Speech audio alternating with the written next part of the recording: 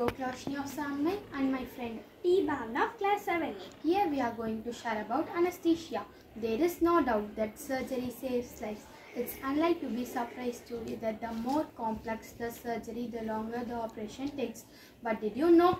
Before anesthesia, surgeons were hugely limited how long they could be operated for. Operation considered relatively commonplace today would have been regarded as impossible, either because they would take too long or because limited pain relief available at the time, like opium, was insufficient. The first ever surgical process using anesthesia was performed in USA on the 16th October 1846 in Boston to remove tumor from patient's neck.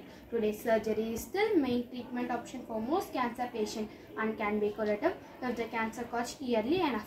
World Anesthesia Day is celebrated on 16th October. In the Indian epic, the Ramayana, which is an ancient and revered text in Hinduism, there is an interesting reference to anesthesia. The Ramayana, which believe have been composed over a long period, the substance called Mrita Sanjeevani or Sanjeevani Bhoti, which has the power to receive unconscious and cinematically dead warriors in the battlefield. Thank you.